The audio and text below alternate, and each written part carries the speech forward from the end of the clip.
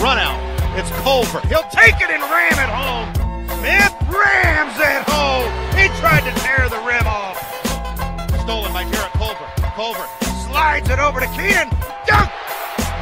Drives it. No look pass to Zhaire. He'll throw it home with a sledgehammer. Attack angle right. Back to Keenan. He brings it back over his ear.